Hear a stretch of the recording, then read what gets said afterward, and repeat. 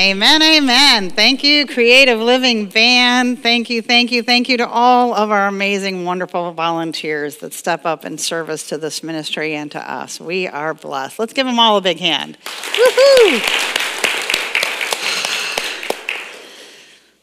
So don't panic.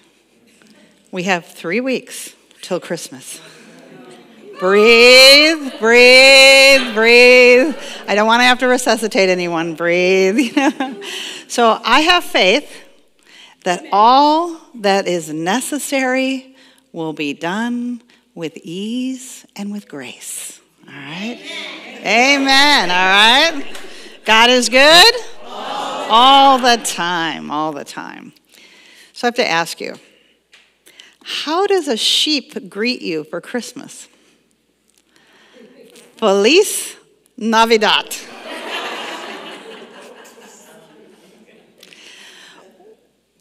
what is the best present to get at Christmas?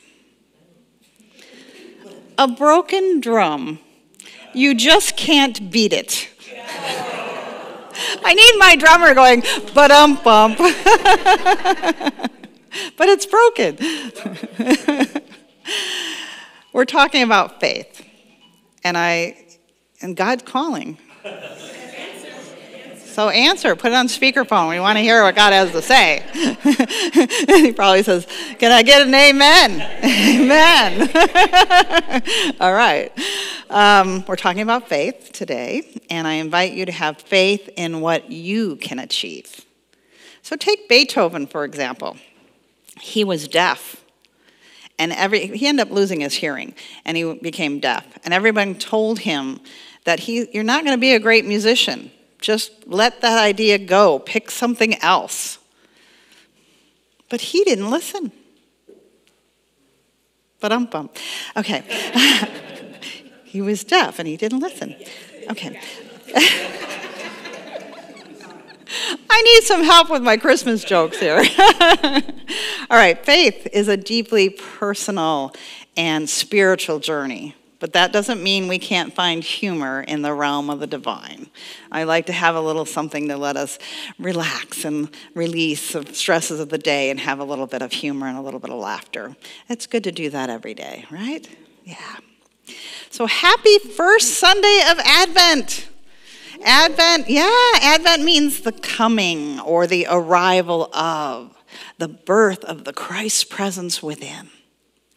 And we celebrate the four weeks before Christmas um, with the remembrance of how important faith and peace and love and joy are for our own spiritual growth and unfoldment.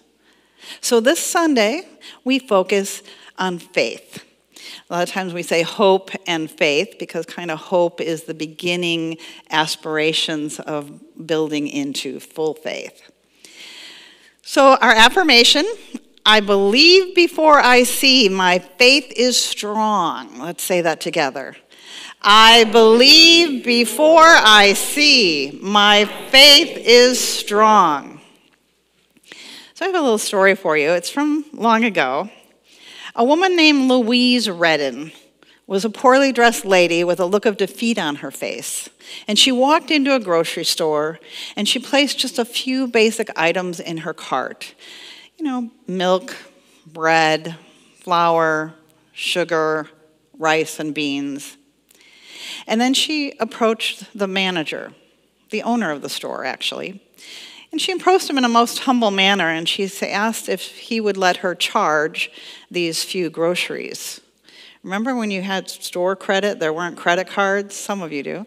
Um, way back when. So she asked, could she please charge these few groceries? And she explained that her husband had been very ill and unable to work, and they had seven children, and they needed food. The owner of the grocery store just kind of scoffed at her and said, No, Sorry, you're going to have to leave. The thought of returning to her family without food just paralyzed Louise. And she stood there and she said, Please, sir, I promise you, I will bring you the money as soon as I can. And the owner said, Nope, we don't give charge accounts to the unemployed. Sorry, I can't help you. Well, standing nearby was a customer who overheard the conversation. And he walked over to the grocer and he said, I will stand good for whatever she needs for her family. And the grocer was like, very reluctantly, he said to Louise, Do you have a grocery list? She said, Yes, sir. He said, Okay, put your grocery list on the scale, and I will give you the equivalent in groceries to what your grocery list weighs. Okay, we're going to say a little prayer for the owner. so Louise hesitated for a moment, and she bowed her head and she said a quick little quiet, silent prayer. And then she reached in her purse and she took out a piece of paper and a pen and she wrote, scribbled something on the paper. And then she carefully laid it, her head was still down, and she laid it into the scale that was right there. And to the amazement of the customer and the owner, the scale went down and it stayed down. The grocer staring at the scales, couldn't believe it. The customer smiled, and the grocer started putting her groceries on the other side of the scale. But the sale didn't balance. So he kept putting the groceries in more and more until he couldn't fit any more into the, the basket of the scale. And the grocer stood there in utter dismay. Finally, he snatched the piece of paper from the scales and he looked at it. It wasn't a grocery list. It was a prayer. And it said, Dear Lord, you know my needs. I am leaving this in your hands. Hmm. Dear Lord, you know my needs. I am leaving this in your hands. Okay, that's bringing up energy for me. um, some of it's mine, I think some of it's yours. Um, I have. Okay, let me just feel this energy coming through me a minute, because that's what you do when it comes up. You don't push it down. After years of counseling, I've learned to just feel it in the moment and it releases, and the wave comes and it goes. But it. Um, I have had, uh, oh, thank you, tissue angel. I have had, um, I've had a heavy burden that I've been carrying personally for two months. And this quote just hit me.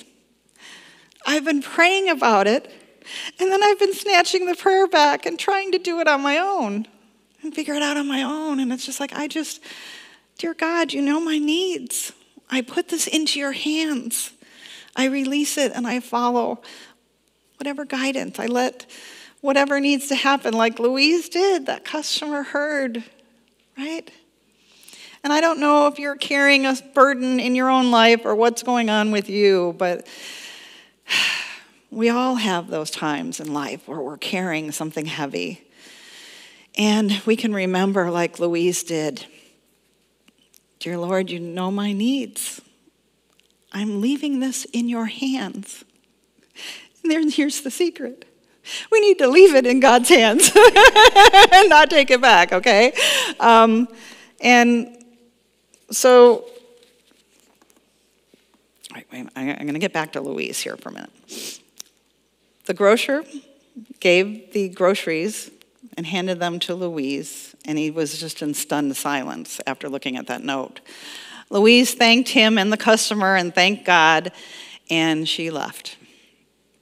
The customer handed the grocer a $20 bill and said it was worth every penny. You know, back then it was, now it's probably be $50 or more, but um, Louise Redden demonstrated courage and strength and the power of prayer and enough faith in God to bring forth that which she desired. You know, I talk about this and it's just so simple. And how often do we forget? It's like, oh, no, no, no, God, let me, I, I got it. I, got, I know what to do. you know, no, no. And God's like, okay, my child, I'm here ready to support you anytime you want me to, right? Louise Redden demonstrated courage and strength and the power of prayer and enough faith in God to bring forth that which she desired. Only God knows how much a prayer weighs. Hmm. So many of us don't take advantage of the power of God, that power of God that, no, many of us don't take advantage of the power God has given us prayer. Prayer is our ability to pause from the outer circumstances that tell us contrary to what we desire. Those are the circumstances that surround us. And then when we pause, in that pause, we speak to God, our Heavenly Father, with faith and with trust. And our prayers are answered if we allow them to be answered. And sometimes our prayers are answered in different ways than we expect them to be answered, just like Louise. God positioned that customer in earshot at the right time in the right place.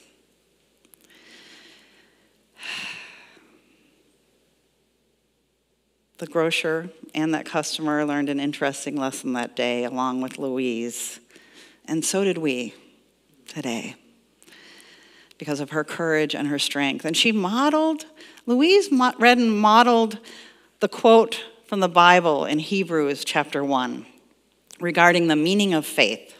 It reads Now, faith is the assurance of things hoped for, the conviction of things not seen. Faith, it says, is the assurance or the declaration of what we hope for, what we desire. And it's the conviction and I like to even call it the evidence of things not seen yet. Okay? Charles Fillmore, co founder of Unity, said, Faith is the perceiving power of the mind linked with the power to shape substance.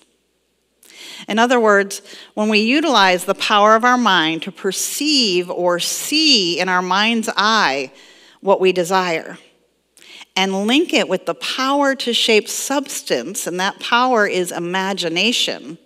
When we link these two together, it sets in motion the divine substance that is everywhere present. And the creation of what we desire becomes manifest.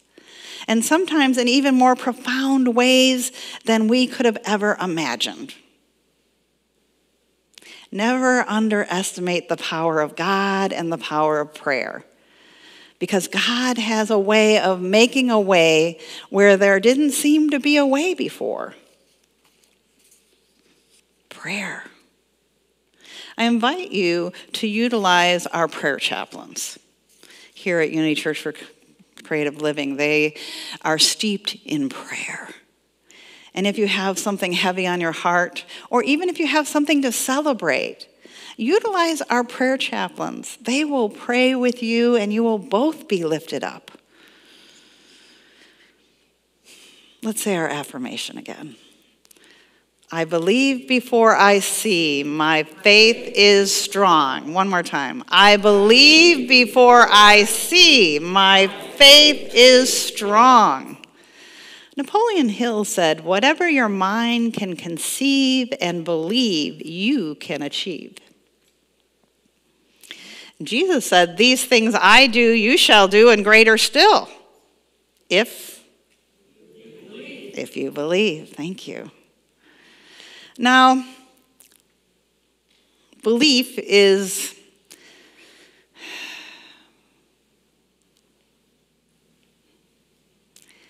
it's it's like hope. It's kind of the beginning. Um, but it's not like well, yeah, I think maybe suppose that could happen. You know, that's kind of a non committal kind of thing, right? Um, the belief that Jesus and Napoleon Hill are speaking of is a deeper faith, a deeper belief, where you know, in the place in you that knows, without a doubt that what you desire is coming forth. And I like to say, or something better. Because God always, always outdoes us. God is good. All the time. All the time. Thank you. There's an old story about a terrible drought in a farm country. country. The crops had dried up, the livestock stock were in danger of dying of thirst. In the midst of an impending disaster, the humble minister of the town asked members of his congregation to come together in the town square the next morning at 9 a.m. and they would pray for rain. Word spread, and the entire community gathered in the town square that next morning to join in praying for rain. And the minister asked the crowd before praying, I want to know if you believe that God will send us rain. Do you believe? And the crowd said, Yes. And he said, I can't hear you. Do you believe? And the crowd yelled, Yes. And then they heard it the pop of an umbrella when you open it. One small child was the only one who came to the prayer meeting with an umbrella the minister invited the child to come forward to the front of the crowd so all could see the one who truly believed. After months of drought, in an act of pure faith, this child brought an umbrella, knowing in full faith that God answers prayers. And a child shall lead them. It's a tender account of a child's faith, and it reminds us all what it means to pray with not only belief, but faith that our prayers will be answered. To approach the Lord with complete confidence that He will satisfy our needs, whether we're praying for relief from a parched earth or hunger and thirst for our soul. What comfort will we find if we, like the child with the umbrella, approach God prepared to receive all of the blessings He will pour down upon us in our time of need. God is good all the time. Thank you. In the Gospel of Matthew, chapter 17, Jesus said, If you have faith the size of a mustard seed, you'll say to this mountain, Move from here to there, and it will move, and nothing will be impossible to you. Faith the size of a mustard seed. A mustard seed is pretty, pretty tiny, really small. And Jesus is saying, You don't need a lot of faith. A little dab will do you. Just start with what you got, right? We can put that in an affirmation, right? When we're facing whatever mountain might show up in our life. Now, mountains meaning any obstacles or stressors that show up in our life that don't want to move. we can say, I have mustard seed faith and I'm not afraid to use it. Let's say that together. I have mustard seed faith and I'm not afraid to use it. All right, thank you. Think about times in your life when you were nervous or anxious or unsure, maybe even scared, but you stepped out in faith, albeit mustard sized faith, but you did it. And that first step stretched you in new ways and brought you into a whole new way of being, and you expanded your mustard seed faith and each time you did that, you grew in you grew in your faith. Yeah. I invite you to say yes to opportunities that come your way and step out in faith and see what God has been waiting to bless you with. God is good all the time. All the time. So I have. Um,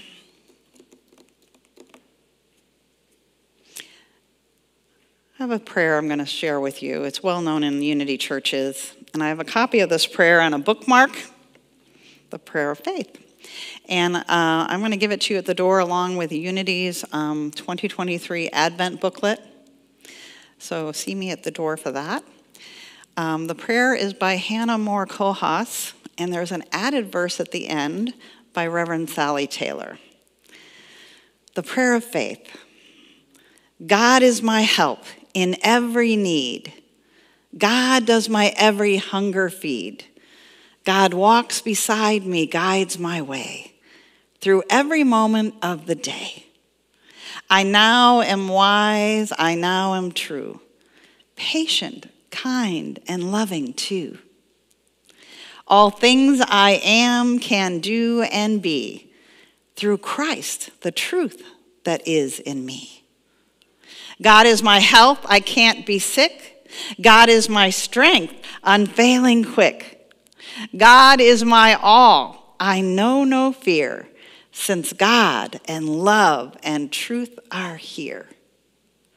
God is my wealth, I can't be poor. God is my true abundant store. His indwelling presence brings to me health, happiness, and prosperity. Mm. So let's take that with us as we prepare for meditation. I'm going to invite you to relax right where you are. Allow the chair to support you. Feel your feet on the floor. Relax your shoulders. Close your eyes if you'd like. And just be here now. As we join in singing, as I center in love, I align with God. As I center in love, I align with God. As I center in love, I align with God. As I center in love, I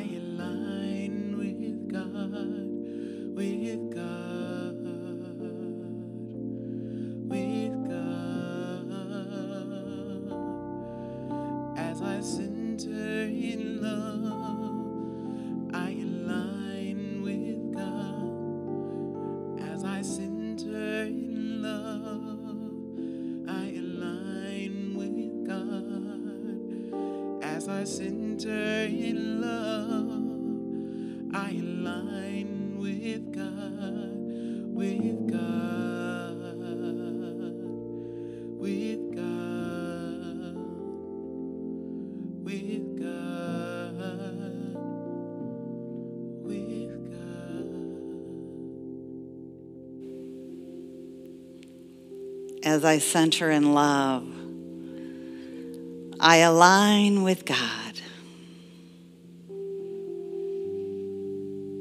I invite you to allow my words to be the words of your own heart and mind as we share this brief time of prayer and meditation together. Gently breathe in, God is. Slowly breathe out, I am. God is. I am.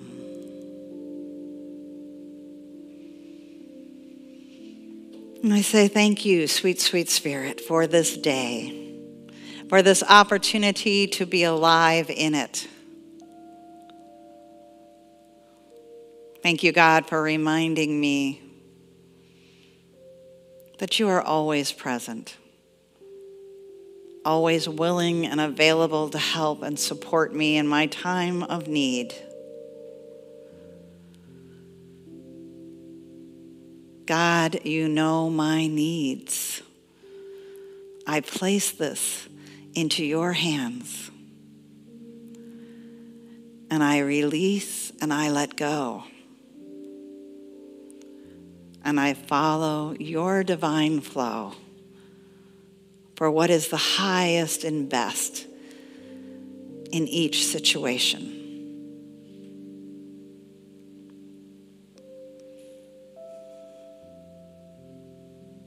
Thank you, God, for when I am in the space of faith, remembering who I am and that I am one with you, God, and that I need not fear.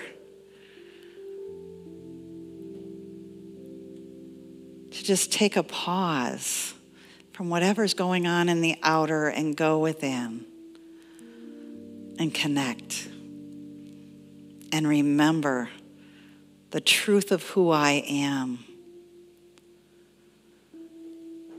And even if I have mustard sized seed faith, that's enough. That's enough to move me forward with your help, God. And each time I do that, I learn and I grow and I expand and I evolve. And each time gets a little easier and a little easier.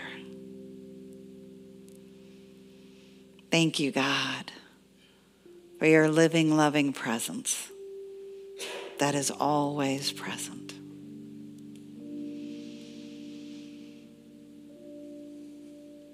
I believe before I see. My faith is strong. So I invite you to take another gentle breath in. Slowly release it. And go deep within to that sacred place within you where you connect with the divine presence of God.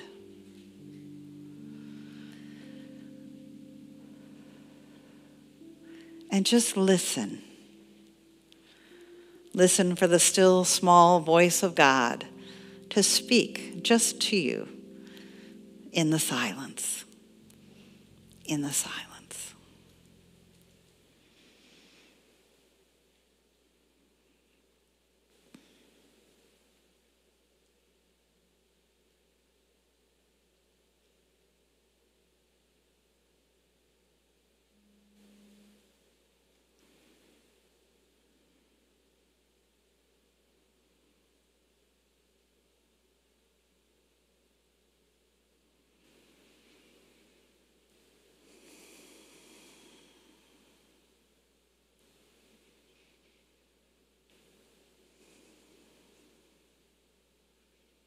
Hmm.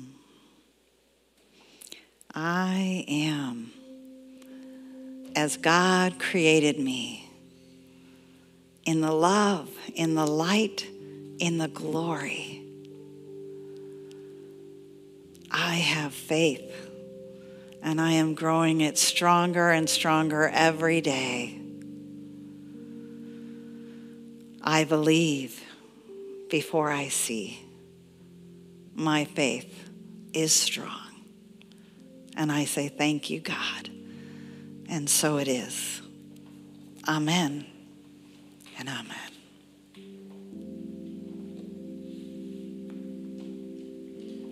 As I center in love, I align with God. As I center in love,